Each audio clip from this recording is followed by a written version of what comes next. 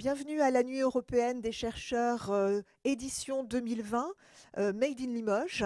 Alors quand on a vu euh, la thématique de la Nuit européenne des chercheurs, les petits secrets nocturnes, on s'est dit qu'il fallait que Limoges vous parle du, polar. Ça nous a semblé être une évidence parce que le polar, c'est une forme de, de récit majeur depuis le 19e siècle une forme de récit qui démasque, qui démystifie, qui dénoue les secrets et surtout les sales petits secrets.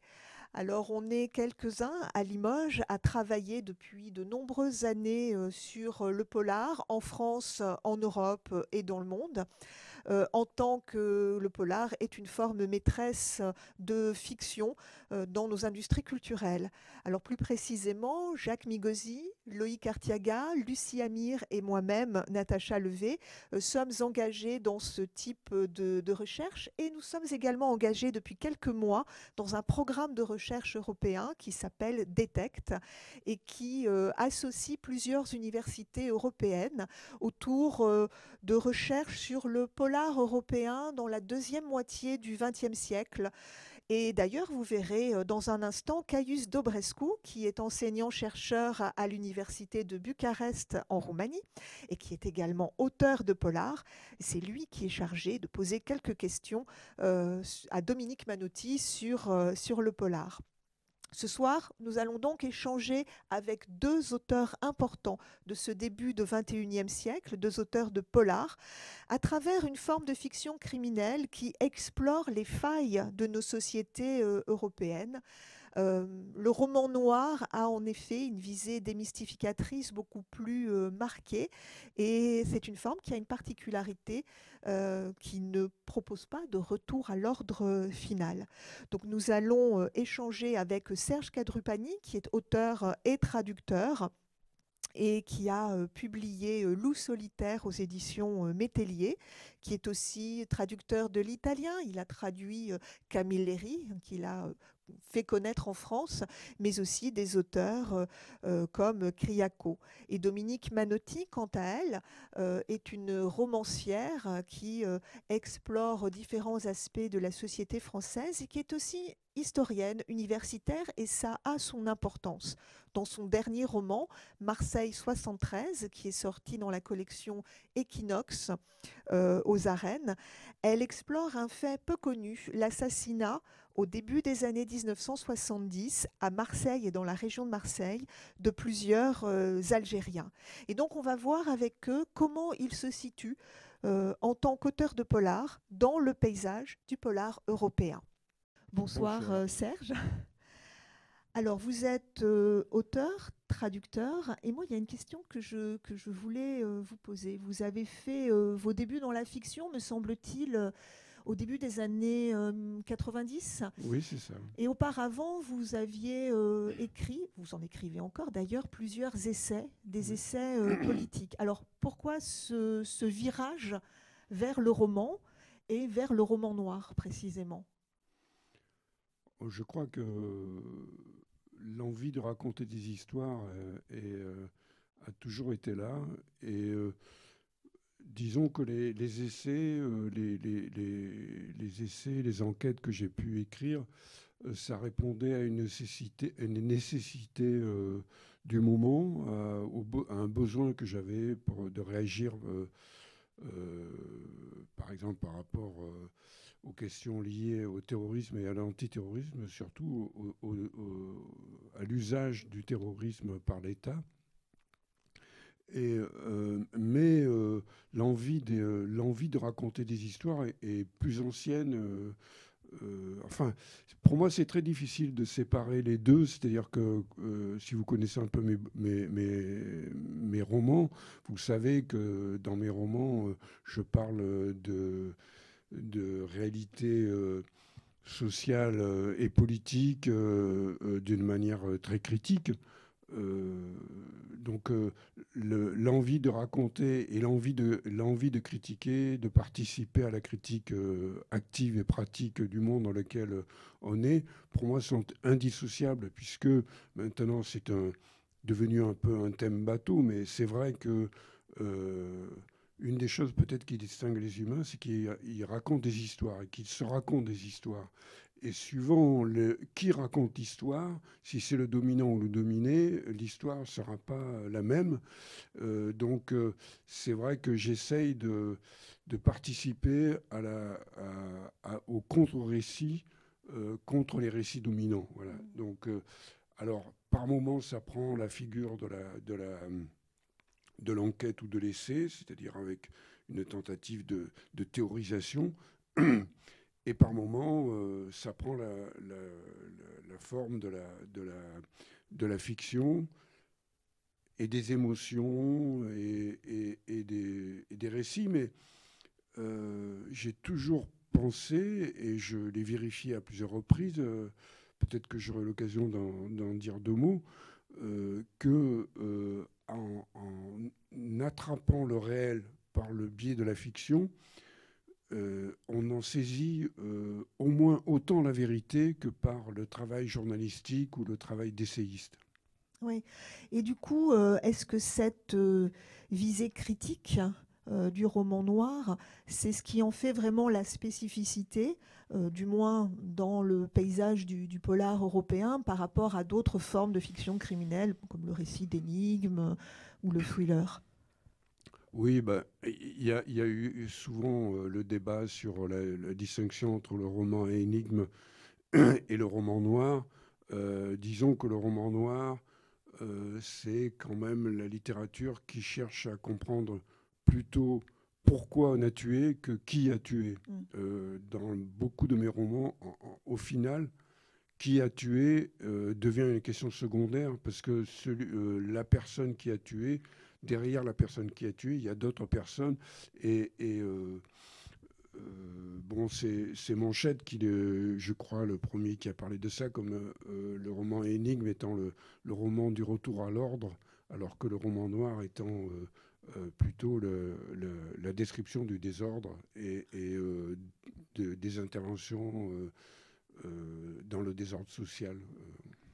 Oui, est-ce que ça signifie que, pour vous, euh, il y a une forme de, alors soit de désenchantement euh, dans, le roman noir, euh, soit une nécessité d'avoir des fins ouvertes, en tout cas, parce que justement, il n'y a pas de retour à l'ordre, il y a juste une mise en exergue du, chaos et du, désordre. Écoutez, chacun pratique de, toute façon. ces définitions sont, toujours euh,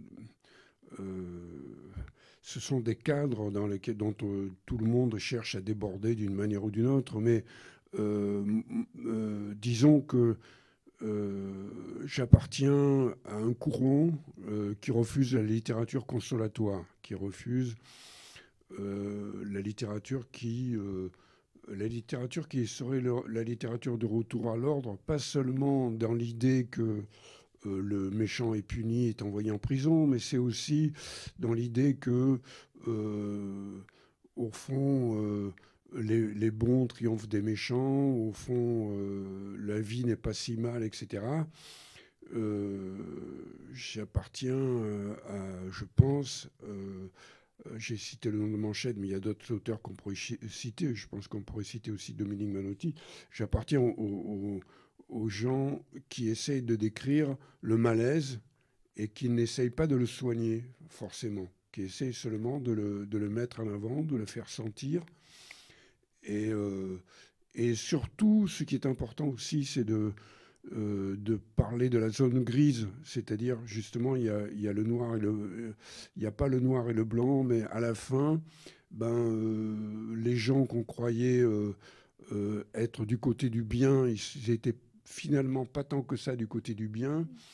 Et les gens qui étaient du côté du mal, peut-être, euh, ils avaient des aspects qui étaient bien. Enfin, voilà, c'était euh, toujours pour accroître le malaise plutôt que pour le, pour le soigner. Oui, alors c'est particulièrement frappant dans, dans Loup solitaire. Euh, en même temps, que ce soit dans Loup solitaire ou dans les, dans les romans qui ont précédé avec le personnage de, de Simona mhm. notamment, il y a aussi une part d'humour. Euh, ou en tout cas de, jubilation. Alors euh, que ce soit par le côté euh, faux roman de Barbouze dans, Loup solitaire, ou que ce soit dans le côté comment représentation des femmes dans, les, dans les romans avec Simona et avec quelques scènes jubilatoires où les nanas règlent leur compte aux affreux, quoi. Ce côté jubilatoire quand même et, amusé dans votre, dans votre regard parfois. Oui, bien sûr. je pense qu'un des grands moments de la littérature mondiale, tout simplement, euh, c'est pour moi une image de bande dessinée euh, de la BD de Manchette euh, dans Griffu, la, BD Griffu, où à la fin, le personnage principal est tué et il est allongé, il est mort et il dit Là où je suis, je ris. Et pour moi, c'est mon point de vue sur la vie. Voilà. Et c'est que je partage avec pas mal de gens. C'est-à-dire que je pense que euh, rire au nez des puissants, euh, c'est encore euh, une force qui nous reste. Et donc, la, capacité à, se moquer demeure, demeure vraiment essentielle. Mais moi, ça me permet aussi, la, faille de l'humour, ça permet aussi de dire des choses très sérieuses. parce que, par exemple, à la fin de Loup solitaire, euh, ça fait un moment que je ne l'ai pas relu, mais il me semble qu'il euh, y a une, allusion très sérieuse à la nécessité aujourd'hui de penser le communisme. Donc, il faut oser dire un mot pareil. Et donc, euh, j'ose le dire. Donc, voilà. D'accord. Et alors, est-ce que c'est pour ça que vous avez choisi euh, Anne Lorker et La Daronne, dont on peut retrouver euh, un extrait en podcast? Parce qu'il y a cet équilibre-là, non, quand même ah, Anne Lorker, c'est une, c'est une incontrôlable, donc je ne me permettrai pas de la contrôler avec, avec ma théorisation. Je, elle, elle a un côté ultra cynique et en même temps euh, qui n'est pas si cynique que ça, puisque au, bout du compte, euh, elle, euh, elle, dit quand même des choses où on sent qu'il y a de la tendresse qui passe. par exemple, dans La Daronne, quand elle, elle parle de la dame qui s'occupe de sa maman Alzheimer, qui est une dame voilée, qui travaille dans un EHPAD, et elle elle dit euh, Ah oui, euh, vous les pourchassez, les femmes voilées, euh, c'est pour vous, c'est votre cauchemar, tout ça, mais ça ne vous dérange pas quand, elles, quand elles sont dans, les, dans les EHPAD et qu'elles nettoient les fesses de vos, de vos vieilles mamans. Donc, j'aime beaucoup Anne Lorker parce que elle pousse très loin le cynisme et on se dit oh là là, là quand même, elle pousse un peu, puis après, on sent quand même de quel côté elle est. Voilà. Et alors, vous avez choisi euh, par ailleurs un extrait euh, d'Igno de Cesare Battisti. Euh, j'imagine que ça vous tenait à, cœur qu'il y ait une lecture de, Battisti. ça me tient particulièrement à cœur dans, la mesure où, pour l'heure, à la suite d'une histoire que beaucoup de gens connaissent, sur laquelle je, je ne m'étendrai pas ici, Cesare se trouve maintenant dans une prison de haute sécurité euh, dans, en Calabre, où il euh, ne peut sortir se promener qu'une heure par jour dans une minuscule euh, enceinte. Et il ne voit absolument personne, parce que les autres détenus sont des gens de, de, Daesh, et donc avec qui il n'a rien en commun. Donc évidemment, si on l'a mis là, c'est pas par hasard. Et euh, je tiens particulièrement à, ce qu'on lise ce, passage, d'abord parce que c'est un très beau texte, très beau sur le plan littéraire, qui parle avec beaucoup de, sensibilité euh, du Brésil, euh, du rapport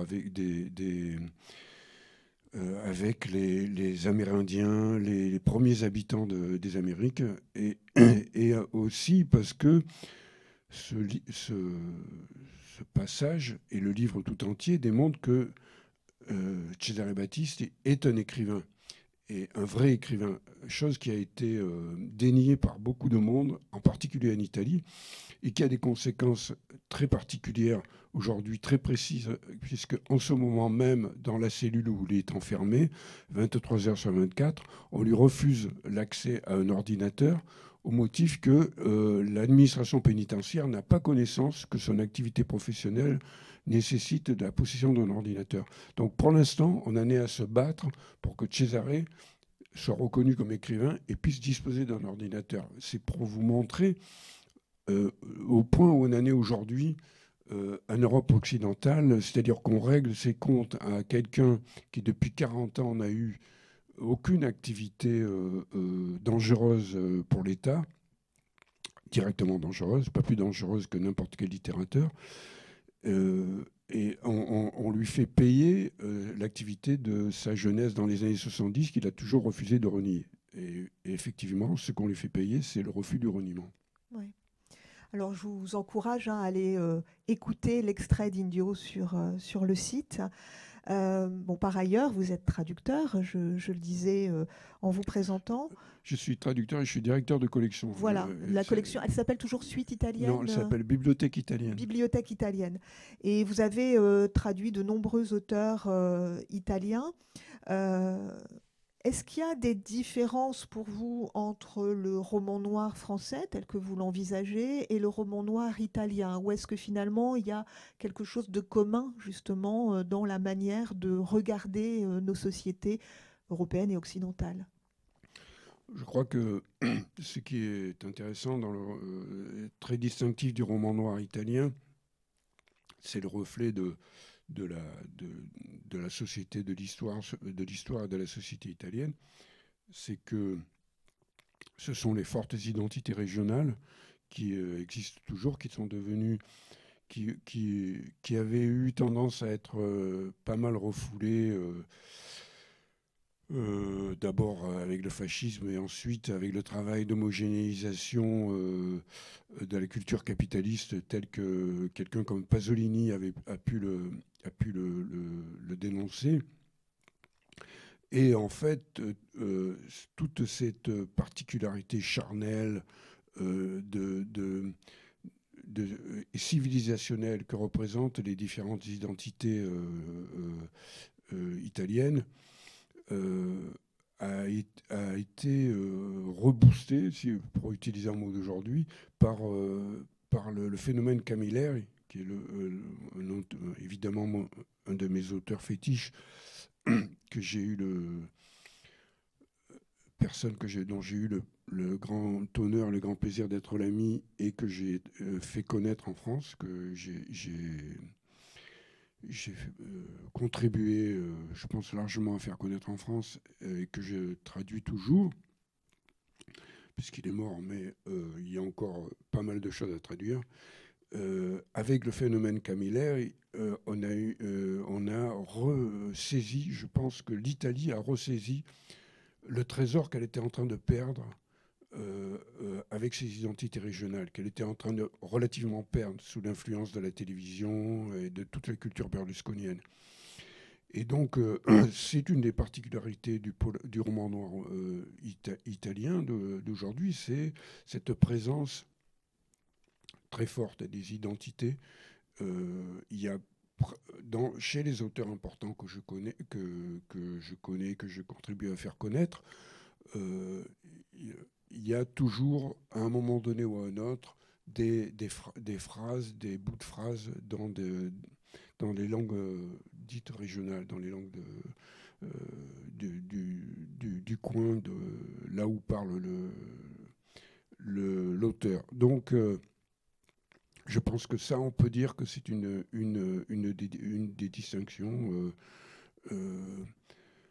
je connais finalement mieux je crois, le roman noir italien que le roman noir français euh, très contemporain, disons. Je connais bien, assez bien, comme beaucoup de monde, euh, l'histoire du polar en France, enfin les, grands classiques du polar, mais de, le, du roman euh, d'aujourd'hui, vraiment, je connais surtout la branche italienne. Et je pense que le, le côté italien a une une richesse et une façon d'aborder la, réalité euh, euh, socio-historique qui euh, peut nourrir la, réflexion des auteurs français. je pense qu'ils gagneraient à, lire les auteurs italiens. Oui, dimension socio-historique qu'on perçoit très, très bien dans les hum, choix d'extraits d'auteurs italiens vous êtes le traducteur que vous avez choisi pour, pour cette soirée, puisque d'un côté, il y a Subura, et de l'autre, il y a le temps des qui s'intéresse à une période de, l'Italie dont on a peut-être peu ou moins entendu parler en France. Est-ce que vous pouvez nous, présenter ces, deux, ces deux romans et, et, les extraits que vous bah, avez choisis le, Temps des Hyènes, c'est un roman, un des romans historiques de Carlo Lucarelli, un des romans historiques dans le sens où il se passe dans une époque non contemporaine. Euh, Carlo Lucarelli, c'est un des auteurs majeurs de, l'Italie d'aujourd'hui, qu'il est, il est euh, très connu, euh, aussi à, cause de son travail à la télévision. il a fait des émissions d'enquête qui ont été, qui ont eu beaucoup de, d'écho, qui ont eu une grande importance. Et là, son, son roman euh, le temps des hyènes euh, se passe euh, en Abyssinie. il, a une série de, de, polars avec ce, personnage de, qui s'appelle Colaprico. Et c'est une espèce, c'est deux personnages, il y a Colaprico et son, son, comment dire, son, subordonné euh, éthiopien, euh, euh, abyssinien plutôt, qui est, en fait le, qu'il appelle le Sherlock Holmes, le Sherlock Holmes éthiopien, parce que c'est un, personnage très fascinant. Et donc, ce qui est intéressant dans, les, les, polars de Lucarelli, cette série de polars qui se passe euh, au XIXe siècle et au début du XXe, qui se passe dans un moment où l'Italie avait euh, euh, des colonies, c'est que, d'une part, il nous fait redécouvrir le passé colonial de l'Italie, passé qui avait été très largement, qui a été très largement refoulé dans la mesure où il y a eu des crimes euh, gigantesques, comme euh, euh, dans toutes les, colonies, des crimes gigantesques, et que ça avait été refoulé par le, une espèce de, de légende italienne, brava gente. Nous, les Italiens, on, est, on, gentils, on n'a on a fait de mal à personne. Et aussi, ce qui est fascinant dans, ces romans, justement, c'est l'attention à la langue, c'est-à-dire qu'il y a l'armée italienne, c'est-à-dire qu'il y, a, tous les dialectes de toute l'Italie, il y a des... Il y a des Napolitains, il y a des, il y a des Vénètes, il y a des Milanais, et il y a toutes les manières de parler qui sont, qui sont racontées. Et il y a aussi les différents dialectes de, l'Empire euh, italien, de, euh, éthiopien, du, tigré, etc. Euh, donc, euh, et, euh, donc c'est là et, et, les les intrigues se tiennent très bien parce qu'on voit que, que Lucarelli c'est quelqu'un qui a beaucoup travaillé sur la, forme polar et qui connaît bien, qui sait tenir en haleine les auteurs et qui sait raconter les enquêtes avec des indices, les fausses pistes, etc. Ça, marche, ça marche très bien. Et, et, Subura, rapidement? Et Subura, euh, ben, Subura, ça fait partie d'une de, espèce de, de, saga que, commencée par euh, euh, Giancarlo De Cataldo, qui est un magistrat romain et qui est toujours magistrat, et qui, mais qui est un des auteurs majeurs du, du roman noir italien d'aujourd'hui. Et le euh, c'est une saga qui a commencé avec Romanzo Criminal et qui a donné un film. Euh, et en fait, ça raconte, ça raconte les, arrière-plans criminels de la capitale romaine, de, Rome, euh, avec les relations incestueuses entre le crime et la politique dans le détail. Et là, dans l'extrait que j'ai choisi, c'est Soubourg, c'est un autre, un autre roman qui fait partie de cette saga qu'il a coécrit avec Carlo Bonino, qui est un, romancier qui, un romancier, un journaliste qui connaît très très très bien toutes ces questions. dans Soubourg, on a l'apparition d'un personnage qui s'appelle Samouraï euh, et qui est euh, euh, le personnage qui parcourt toute la saga et qui est l'homme qui détient tous les secrets de tous les autres. et là, on voit comment il a pu accéder aux secrets de tous les, de, tous les, de, tous les gouvernants et comment il peut les manipuler. Et pour finir, je voudrais juste signaler que quand je finissais de traduire Subura, je suis j'ai ouvert le journal, j'étais je me trouvais en Sardaigne à l'époque, j'ai ouvert le journal, je suis tombé sur un article qui racontait l'arrestation du personnage qui avait servi de modèle et euh, avec une description de, ses manières de faire, le fait qu'il donnait des rendez-vous dans une station-service, etc. Et j'étais complètement sidéré parce que c'était ce que je venais de, de traduire. Et donc euh, c'est pour dire que vraiment, euh, ça a donné aussi une série télévisée qui n'a pas grand-chose à voir avec le roman d'ailleurs. Enfin, mm. il y a quelques, euh, quelques points qui sont, c'est-à-dire euh, toute l'histoire de, de la, des mafias qu'il y a autour de Host, il y a de Hostie. Mais sinon, ça n'a pas grand-chose à voir. Mais et la, le, la manière dont, les, dont cette saga est nourrie de l'actualité en permanence est assez, assez impressionnante. Oui. Alors vous savez euh, ce qu'il vous reste à faire hein, pour commencer à aller écouter les extraits, puis lisez ces romans, lisez euh, Serge Cadrupani. Merci euh, Serge. Alors pour faire une transition vers la seconde partie de l'émission, on va écouter Adèle Bensussan qui est metteuse en scène à la compagnie La Friche. Euh, on va l'écouter nous lire un extrait euh, de Leonardo Sciascia, euh, un extrait du Jour de la Chouette qui a été choisi par Dominique Manotti. L'autobus allait partir. Il grondait sourdement avec de brusques tout-sautements, de brusques hoquets. Dans le gris de l'aube, la place était silencieuse, la brume s'effilochait sur les clochers de la cathédrale. Rien que ce grondement de l'autobus et la voix de marchand de beignets. Chaud, tout chaud, les beignets implorante et ironique. Le receveur ferma la portière. L'autobus s'ébranla avec le bruit d'une carcasse démantibulée.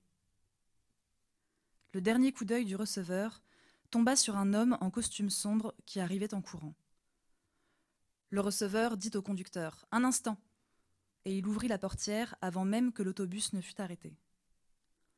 On entendit deux coups retentissants. L'homme au costume sombre, qui allait sauter sur le marchepied, resta un instant en l'air comme si une main invisible le hissait par les cheveux, sa serviette lui échappa des mains et, lentement, il s'affaissa sur la serviette. Le receveur jura et sa figure prit la couleur du soufre. Il tremblait. Le marchand de beignets, qui se trouvait à trois mètres de l'homme écroulé, s'éloigna du côté de la porte de l'église avec une réputation de crabe. Dans l'autobus, personne n'avait bougé. Le chauffeur semblait pétrifié, la main droite sur le frein, la gauche sur le volant. Le receveur regarda toutes les figures des voyageurs qui semblaient sans regard, des figures d'aveugles. Il dit On l'a tué. Souleva sa casquette, commença à se passer la main dans les cheveux d'un geste frénétique et jura encore. Les carabiniers, dit le conducteur. Il faut appeler les carabiniers. Il se leva, alla ouvrir l'autre porte et dit au receveur J'y vais. Le receveur regardait alternativement le mort et les voyageurs. Qui est-ce? demanda le receveur en indiquant le mort. Personne ne lui répondit. Le receveur jura. Les carabiniers arrivèrent. Le brigadier était tout noir de poils de barbe et de sommeil. L'apparition des carabiniers fonctionna comme un signal d'alarme pour tirer les voyageurs de leur léthargie. Tout le monde se mit à descendre derrière le dos du receveur, par l'autre portière que le conducteur avait laissée ouverte. Avec une indolence apparente, non sans se retourner comme pour chercher le meilleur point de vue pour admirer les clochers, il s'éloignait vers le pourtour de la place, jetait un dernier coup d'œil et tournait quelques coins de rue. Ni le brigadier, ni les carabiniers n'avaient remarqué autour d'eux cette auréole de fuite lente. Dans l'autobus, il ne restait que le conducteur et le receveur. Comment? demanda le brigadier au conducteur. Vous n'aviez aucun voyageur aujourd'hui. Il y en avait quelques-uns, lui répondit le conducteur avec la figure d'un homme dépourvu de mémoire. Quelques-uns, quelques-uns, lui fit remarquer le brigadier. Ça veut dire quatre, cinq, six personnes Je n'ai jamais vu cet autobus partir avec une seule place libre. Euh, je ne sais pas, dit le chauffeur tout crispé dans l'effort de se souvenir. Euh, je ne sais pas. Quand je dis quelques-uns, c'est façon de dire. Je ne regarde que la route. Je suis payé pour regarder la route. Le brigadier passa sur sa figure une main tiraillée par les nerfs. Je vois, dit-il, tu ne regardes que la route. Mais toi, dit-il en se tournant vers le receveur d'un air furieux, toi, tu donnes les billets, tu prends l'argent, tu rends la monnaie, tu comptes les personnes et tu les regardes en face. Si tu ne veux pas que je rafraîchisse tes souvenirs en te mettant au trou, tu vas me dire immédiatement qui se trouvait sur l'autobus. Je ne me souviens pas, dit le receveur. Sur l'âme de ma mère, je ne m'en souviens pas. En ce moment, je ne me souviens de rien. J'ai l'impression de rêver. Je vais te réveiller, moi, je vais te réveiller, dit le brigadier exaspéré. Avec deux ans de travaux forcés, je te réveillerai. Mais il s'interrompit. En regardant l'autobus, il eut l'impression de quelque chose de changé ou d'absent.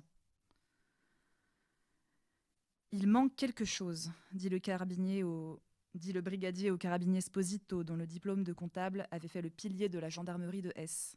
Il manque quelque chose, ou quelqu'un. Le marchand de beignets, dit le carabinier Sposito. Diable, le marchand de beignets, dit le brigadier triomphant. Et, fier de l'enseignement de son pays, il se dit qu'on ne le donnait pas au premier venu, le diplôme de comptable. On envoya à toute vitesse un carabinier harponner le marchand de beignets. Dix minutes plus tard, le brigadier avait devant lui le marchand de beignets. Il avait la, tête d'un homme réveillé du plus innocent sommeil. Y était-il? demanda le brigadier au receveur en le désignant le marchand de beignets. Il y était, répondit le receveur en regardant son soulier. Donc, proféra le brigadier avec une douceur paternelle, ce matin, comme d'habitude, tu es venu vendre tes beignets ici, au premier autobus pour Palerme, comme d'habitude. J'ai ma patente, dit le marchand. Je sais, dit le brigadier en levant les yeux vers le ciel pour implorer de lui la patience. Je sais, je ne m'occupe pas de la patente. Je ne veux savoir qu'une chose. Tu vas me la dire, et je te laisse tout de suite repartir vendre tes beignets aux enfants. Qui a tiré? Pourquoi? demanda le marchand de beignets d'un air aussi intéressé que surpris.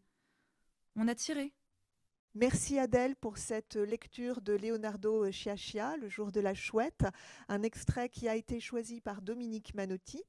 Et je vous propose que l'on rejoigne maintenant Dominique Manotti, euh, à qui Caius Dobrescu de l'Université de Bucarest va poser quelques questions sur euh, les polars qu'elle écrit, sur sa conception du polar et sur le polar européen. À vous, Caius. Bonjour, Dominique Manotti.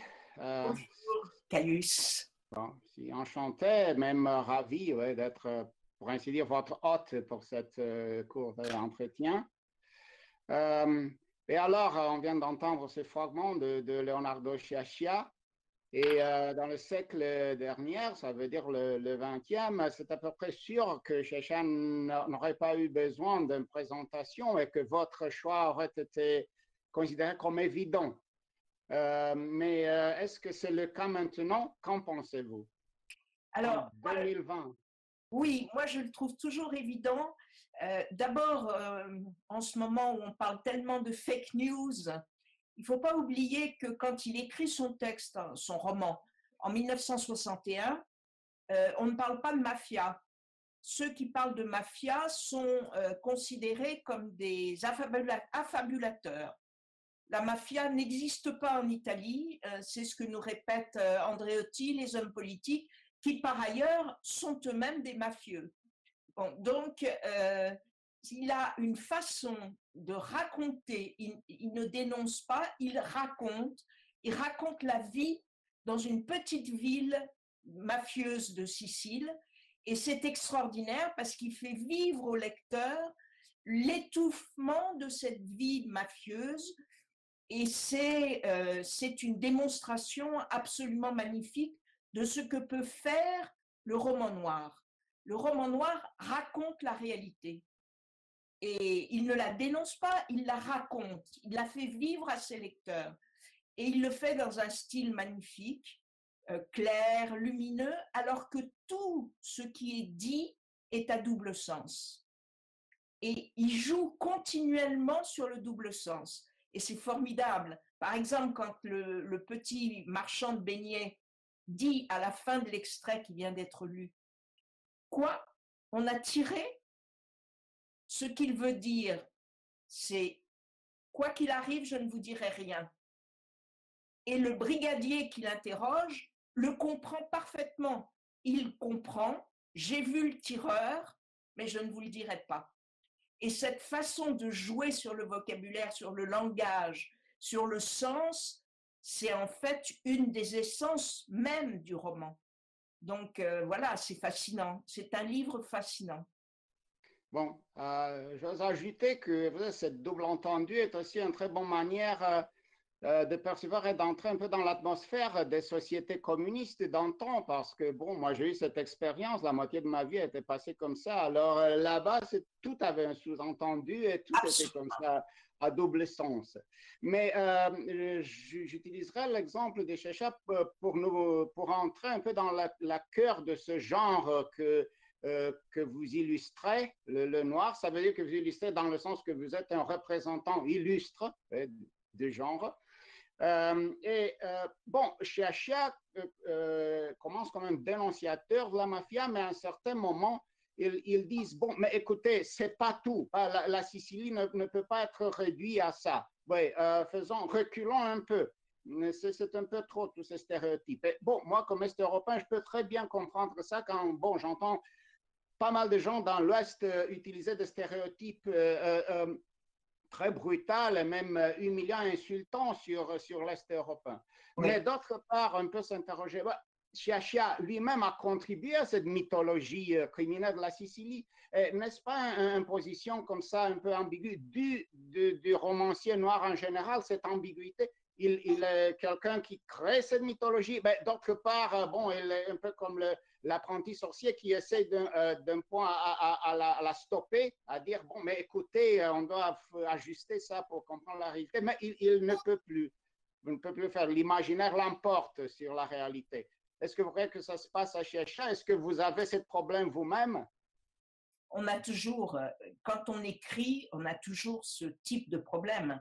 C'est-à-dire, figé dans l'écriture, euh, c'est faire un espèce de, oui, c'est faire un espèce de pari et figé dans l'écriture, c'est sûr que c'est toujours en partie, on, on, ne raconte jamais la totalité du réel, on raconte toujours une fraction du réel, on choisit ce qu'on raconte et la façon dont on fait nos choix est toujours problématique, ça c'est clair. Je suis d'accord. Chez comme chez, comme chez tous les auteurs. Comme historien, et surtout historien de l'économie, euh, nous, nous, vous connaissons aussi en, en historien spécialiste de l'histoire économique euh, de la modernité. Alors, euh, vous êtes bien sûr très préoccupé euh, de, ce qu'on appelle le déterminisme économique. Mais comme, poète et, philosophe, quand, vous écrivez, euh, alors, comment est-ce que vous percevez ce côté du noir? Est-ce que le noir qui parle beaucoup sur ce désespoir du, survie, de, la, l'avidité, la gloutonie du survie euh, euh, peut encore nous laisser un, euh, espoir envers de, la trinité séculaire de la liberté, fraternité, égalité? Ça, ça, ça dépendra de la façon dont, je veux dire, le romancier n'est pas euh, un, homme politique, le romancier n'est pas un militant, euh, où s'il est militant, c'est autre chose et c'est dans un autre monde que celui du roman. Et euh, là, je crois que vraiment, euh, la, tâche à laquelle moi je m'attelle, c'est de raconter le réel tel qu'il fonctionne ou tel que moi je le vois et je le comprends fonctionner. Euh, quel va être l'avenir de ce réel? Ça dépend entièrement des hommes aujourd'hui.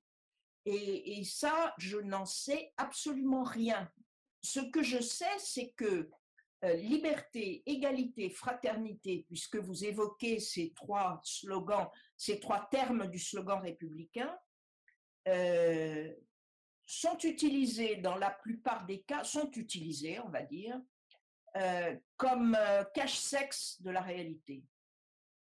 La société française n'est pas libre, elle est même de moins en moins libre, elle est en train de virer à l'État policier, euh, elle est absolument pas égale, elle est même de plus en plus inégalitaire. Et quant à la fraternité, euh, à part quelques moments euh, de fraternité, comme par exemple les gens qui se précipitent pour aider les immigrés en difficulté, ils sont plutôt extrêmement minoritaires et à l'heure actuelle pourchassés dans la société française. Donc, si vous voulez, liberté, égalité, fraternité, c'est bien, c'est joli. Ça n'est pas réel. Ça n'a pas d'élément de réalité en France. Et ça, c'est ce que raconte le roman noir.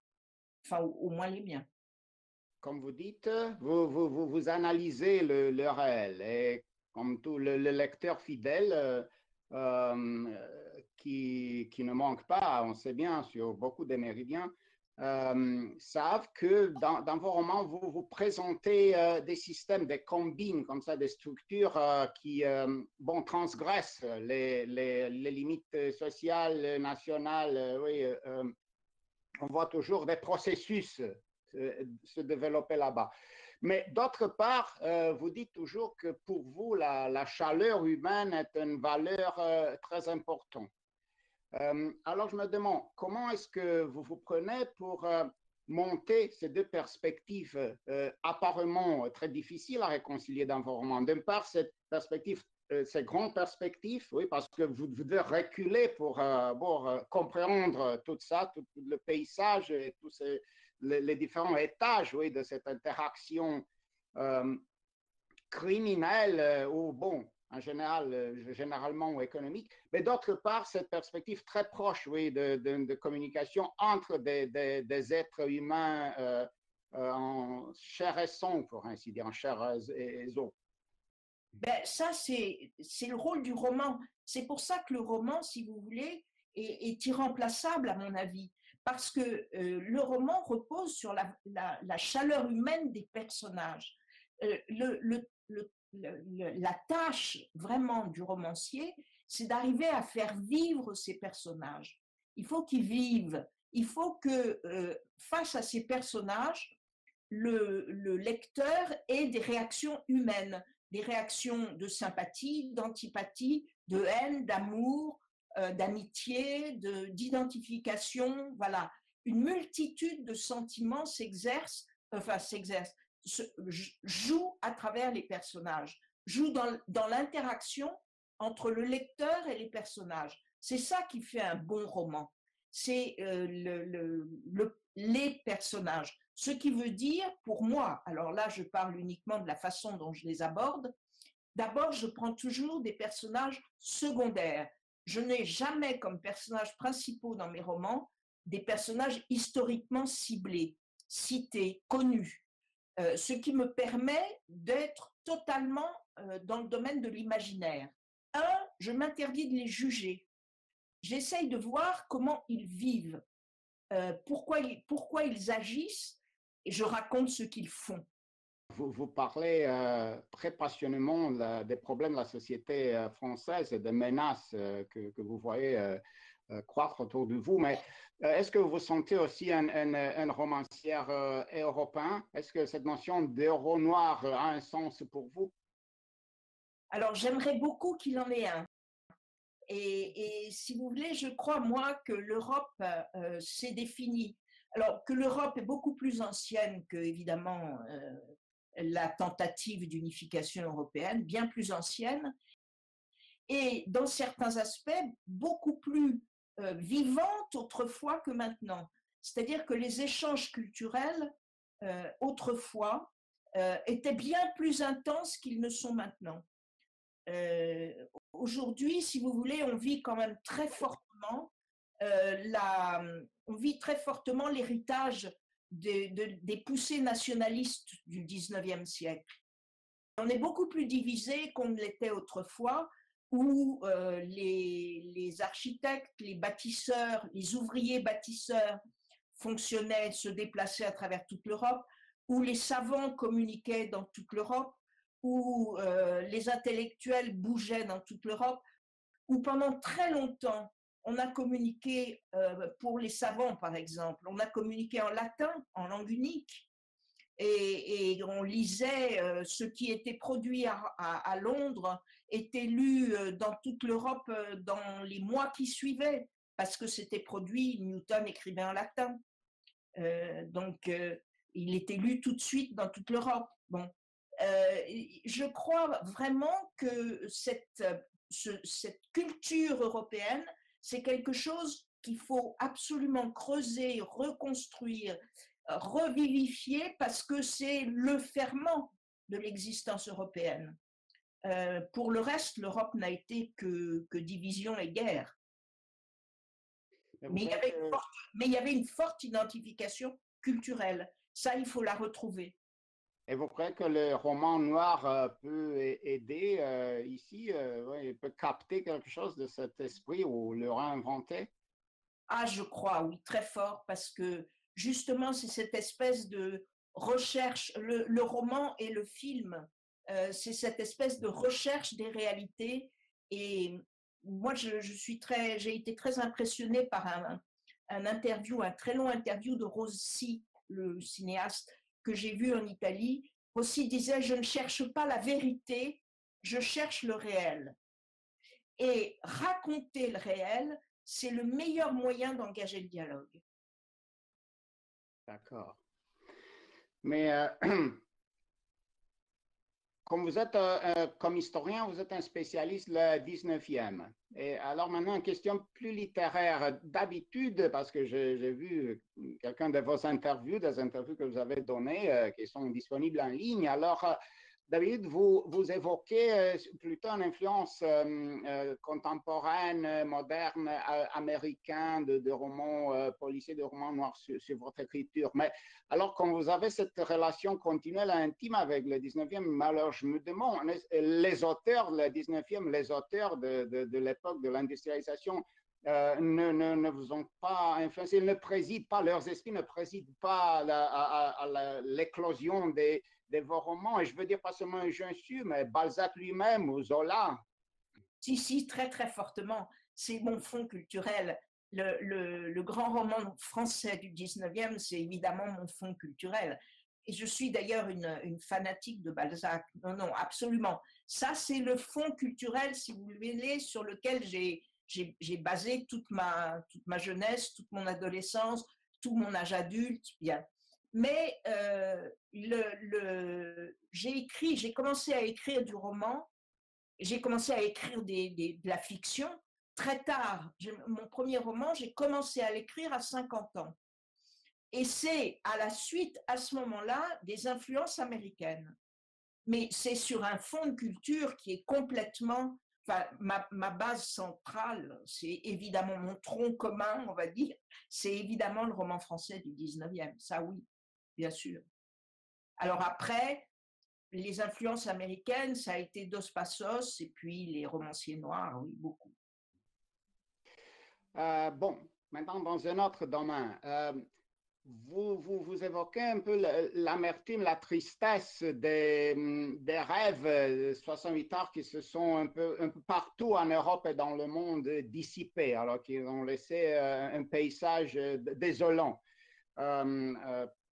mais euh, je me demande si euh, la, la, mélancolie, qui a une, relation intime avec le noir, parce que la mélancolie, c'est l'humour noir. Alors, euh, bon, elle est indispensable au genre noir. Alors, est-ce que la mélancolie ne peut pas en, elle-même être aussi un, ferment, une, une, force de, de, critique et de changement social? Parce que peut-être qu'il y a, on peut imaginer aussi une solidarité européenne euh, à l'envers autour de cette mélancolie, de ce sentiment commun d'avoir euh, raté une occasion? Oui, ça serait, euh, ça serait la lumière au bout du tunnel. Pour inverser la, perspective habituelle du tunnel. Oui, ça serait. oui, j'espère. Je, J'espère, je ne sais pas si je peux espérer, mais en tout cas, j'essaye de ce côté-là. Voilà, c'est la recherche, oui. On, sait des classiques que la mélancolie peut être aussi acide, quoi. Il existe cette, la mélancolie acide, alors, qui dissolve, quoi. Boire et acide. Bon, euh, alors, euh, dans vos, euh, vos, choix des, des, fragments, comme ça, m'a appelé un peu quelque chose qui était raconté par, par Duhamel, je crois. Vous savez, les, surréalistes dans les années 20 qui euh, faisaient éruption dans des salles de cinéma où, ils, projetaient, il y, avait, des fils noirs là-bas, ils, ils euh, euh, détachaient comme ça une séquence, après ils le prenaient, ils sortaient, ils, ils déliraient comme ça dans leur style sur, sur ce moment, se laissaient inspirer, alors que les fragments que vous avez choisis me portent comme ça dans des différentes salles où, sur, sur, des écrans. Imaginaires sont projetés les fantasmes, pas seulement des différents auteurs, mais aussi des différents euh, zone de l'Europe. Vous, avez choisi Chassia. Vous, vous, avez aussi euh, choisi quelque chose du, du, euh, Stig Larsson, ça veut dire de, de, du monde scandinave, mais il y a aussi un, troisième choix peut-être plus inattendu, mais pourquoi inattendu, à vrai dire, un, choix qui vient d'une autrice euh, euh, russe de, de romans euh, noirs, ben, qui a un nom qui quand même fait une connexion avec la réelle Méditerranée et latin parce qu'il s'appelle Latinina.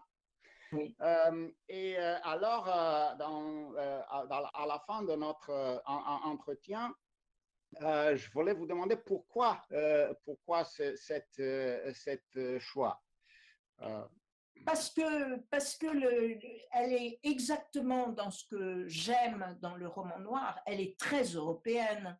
Elle est tout à fait dans ce que j'aime dans le roman noir, c'est-à-dire c'est un roman qui raconte la société. C'est pas un roman qui raconte euh, ce que un de mes copains euh, écrivains de noir appelle la littérature de moi avec mon radiateur. C'est-à-dire moi et mon, moi et mon radiateur. Et alors là, on peut en parler pendant des années mais ça n'a, à mes yeux, aucun intérêt. Moi, ce que j'aime, c'est la littérature qui raconte la société dans laquelle on vit. Des individus qui sont jamais des individus isolés, mais qui sont des individus dans un milieu social. Là, elle est en plein là-dedans. Elle raconte dans La chasse aux reines de Sibérie la Russie d'après Eltsine, c'est-à-dire d'après la perestroïka, c'est-à-dire cette société qui a été complètement vendue à l'encan aux mains, de, des, des mafieux et des entrepreneurs qui vivent en très très bonne euh, cohabitation et en lutte permanente pour plus d'argent, plus de pouvoir. Et c'est absolument fascinant de voir, si vous voulez, dans ce qu'elle raconte, euh, les, traits, je retrouve les traits de nos sociétés euh, euh, d'Europe de l'Ouest, mais euh, poussés au paroxysme, poussés au paroxysme. Et j'aime beaucoup ces, romans, enfin ce roman, et je trouve que c'est quelqu'un qu'il faudrait absolument mieux traduire et, mieux intégrer dans nos, dans nos recherches et dans nos réflexions. Quand je l'ai lu, La chasse aux reines de Sibérie, j'ai vraiment beaucoup mieux compris la Russie contemporaine, beaucoup mieux. Je me sens beaucoup plus proche d'une compréhension efficace, réelle, voilà. Euh, et, en même temps, ça me dit à quel point cette Russie-là, elle est proche de nous. Parce que dans ce que nous vivons dans le monde économique, on retrouve les mêmes traits ils sont atténués parce qu'on a encore euh, des formes différentes d'État et de culture, mais, mais c'est les mêmes. C'est les mêmes. Le, capitalisme ultralibéral euh, qui se déchaîne en Russie après Eltsine. Et j'aimerais beaucoup lire maintenant des romans euh, d'auteurs russes sur la façon dont ça se passe aujourd'hui j'aimerais beaucoup comprendre l'évolution entre à ce moment-là et aujourd'hui. Donc oui, c'est des, c'est des très, très, euh, c'est un roman euh, vraiment profond sur la Russie et que j'aimerais beaucoup lire la suite. Merci, euh, merci infiniment Dominique Manotti. Alors, oui, un, Russie européen, ça veut dire aussi qu'il doit être tenu à des, standards européens, ce qui concerne bon, la, liberté de la parole et de la conscience. Et alors, écoutons le fragment que vous avez choisi. Trois jours à peine après les déboires de Vatchenko, des crapules qu'on n'attendait pas tentent le braquage d'un magasin d'informatique détenu à 30% par une filiale d'AMK. Un hold-up atroce de cruauté, avec fusil d'assaut et cris de menace du style Tu vas cracher tes boyaux. Le chef de bande, un certain Kurtz, finit par jeter à terre le patron du magasin en lui demandant de préparer pour le lendemain 3000 dollars, ceci après avoir uriné sur sa face ensanglantée. Ne compte pas sur le combinat, il a d'autres chats à fouetter par les temps qui courent, conclut-il. Les gangsters sont éliminés le lendemain, aux portes du magasin. Trois fusils qui parient, nichés dans deux jeeps garés au bord de la route, réduisent Courte et ses acolytes en bouillie de sang sur un trottoir qu'on passera beaucoup de temps à décaper. La police industrielle, sans complexe, classera une fois de plus l'affaire dans le casier des non élucidés. Deux jours plus tard, lorsqu'une inspection fiscale se présente au combinat, Cheriaga, cordialement, fait mettre un bureau et toutes les archives comptables à la disposition des inspecteurs, puis glisse à l'oreille du chef adjoint sur le ton de la confidence. N'oubliez pas que le lucre ne mène à rien de bon. Pensez à Courte. En écoutant le récit de Chiriaga sur Courte et les gens du fisc, Isvolski se fâche. Tu fais de moi un vulgaire malfrat, bougonne-t-il. Ce n'est pas bien. Recourir à la force, c'est fournir un prétexte à douter d'elle. Quoi qu'il en soit, L'inspection fiscale juge opportun de ne rien trouver au combinat. Merci Adèle. Donc je vous rappelle que vous pouvez retrouver ce texte ainsi que tous les autres euh, sur les différents canaux euh, qui vous permettent de, regarder cette émission. Alors euh, pour, pour conclure, je voudrais souligner quelques points très très rapidement qui sont aussi en lien avec ce que les chercheurs du programme DETECT euh, relèvent de leur côté. Euh, vous voyez que l'euro noir, on, ne sait pas très bien si ça existe, si ça existe de manière unifiée, mais ce qu'on constate, c'est qu'il y a des voix européennes du polar, du roman noir, qui se font entendre depuis euh, quelques années. Euh, voire quelques décennies, mais depuis quelques années, il y a une plus grande diversité euh, du, polar euh, européen. On connaît la, vague du polar scandinave, mais on peut lire désormais des polars polonais, grecs, slovaques, irlandais, qui dressent tous à leur manière des portraits des sociétés européennes, qui ne sont pas des espaces interchangeables, mais qui tous proposent des particularités dans ce monde globalisé, mondialisé. Et il y a des éditeurs qui sont attentifs à ces nouvelles productions. Par exemple, en France, l'éditeur euh, Agulot qui s'en est fait une spécialité.